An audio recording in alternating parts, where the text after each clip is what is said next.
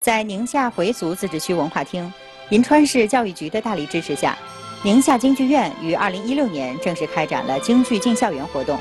仅仅不到一年的时间，他们就先后走进银川市54所中小学及幼儿园，演出108场，约有2万名师生参与。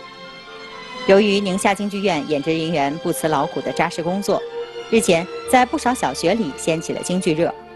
前不久，宁夏京剧院第二轮京剧进校园活动又在院长刘晶的带领下再次启动，